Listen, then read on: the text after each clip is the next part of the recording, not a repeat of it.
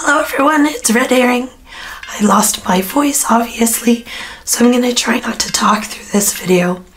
And instead, we're gonna take a field trip out to my car to see what kind of stuff I have in my emergency period bag. I usually only pack a uh, emergency bag for my car, and if I'm traveling, I take that bag along with me. If I'm traveling, I might grab uh, a couple of extra cups. Uh, I like to have my high capacity cups if I am going out of the state or staying overnight someplace. If you're wondering about my shelf, I took all of my cups down just to uh, take some photographs uh, for my blog that I started. Uh, it's I'm not a big blogger type of person, uh, but I did want to have some place other than Facebook to put some of my information. But you can find my um, blog link in the description below. You can also find any other websites, links, or discounts that I might have at this time. And if you find anything helpful or interesting in this video, please give it a thumbs up, comment, share, and don't forget to subscribe if you haven't already. So let's just get to it.